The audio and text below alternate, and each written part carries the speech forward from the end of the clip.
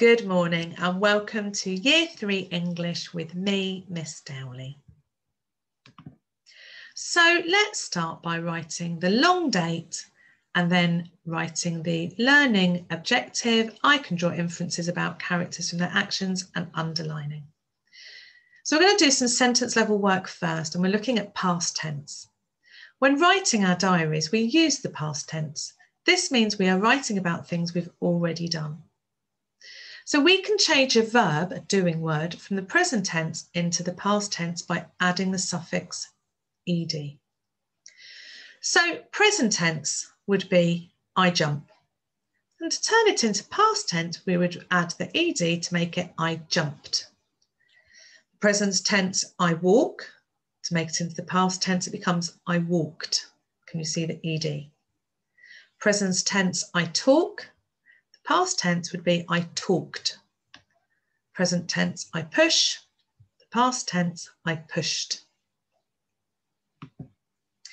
Have a try at changing the following verbs from present tense to past tense by adding ed. Off you go. Pause this whilst you try. So we're looking at the story of Heracles and the 12 labours. Make sure you listen to Mr. Bayford read this. He does a fantastic job. We're going to use the table below to sort some of the characters from our story.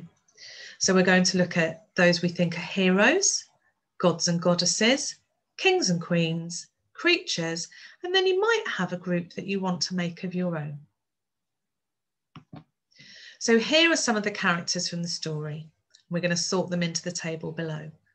So we have the Nemean lion who had the very thick skin, the one that Heracles killed with his bare hands the oracle who told um, Heracles to go to see King Eurystheus, Megara, who was his wife, Zeus, who was Heracles' dad, Heracles himself, King Eurystheus, who set the 12 labours, the Lernaean Hydra, the one with the nine serpents' heads, Alcmene's husband, Alcmene, who was um, Heracles' mum, Atlas, who was holding the world up, Pluto, who gave permission for Heracles to take Cerberus, Hera, who was Zeus's wife and Heracles' stepmom, and Cerberus, who was the three headed dog who guarded the underworld.